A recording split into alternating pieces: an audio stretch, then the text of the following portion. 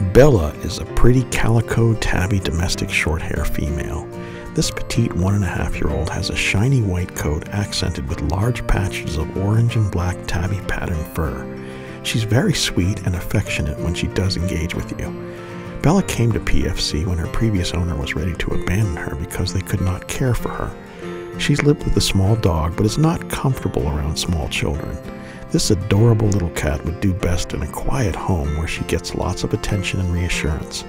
For more information, contact People for Cats at 508 540 5654 or peopleforcats.org.